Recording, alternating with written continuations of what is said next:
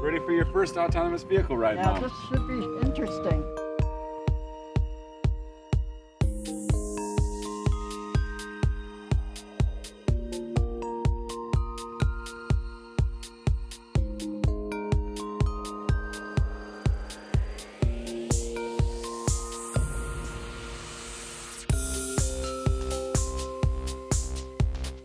Amazing. Yeah, nice. Very cool.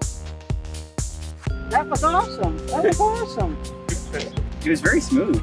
Yeah. How was the ride? Yeah, the ride was great. It was Ride fun. was- It was really fun. Yeah. Yeah. It was spectacular and unusual and just impressive. I can't wait for the day to come we can have this. yeah, this this service I think is a is a game changer. I think uh, uh, for for for all age groups. I think for mine, and I think you could probably see where it would really unlock a lot of things. Yeah, right now I have a problem driving at night. So this would be uh, uh, open my world a little bit so I could do nighttime things and not have to rely on you to come get me. I most definitely would use a service like this if it was available. I'm, I'm you know, car payment and economics aside, um, I, there's a point in my life I know that I won't be able to drive, or it would be better if I didn't, because I have some health issues. It would really be nice not to lose my freedom.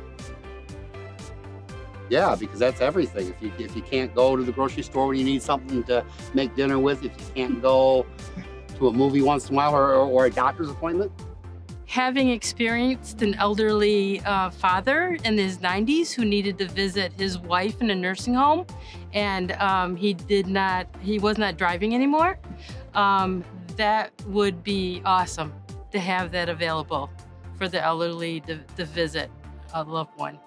And um, i'm excited for my future and and hope that that is available for me I can get rid of two cars. A lot of time keeping those up. Yeah. The autonomous vehicle and the technology is really cool.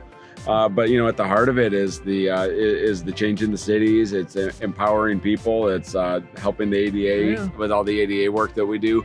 So I think it's like, like the technology part's cool, but you know, at the heart of it is people stuff, uh, and that's I think that's what a lot of the people, myself included, find Yeah. the most rewarding. the quality of life would probably improve. Um, you'd spend more time with your family and able to shop and as long as you had a storage for groceries, we'd be all set. It's useful to humanity. So Yeah. we're just very proud of this guy here to really to work on something that's going to be our future. It's wonderful.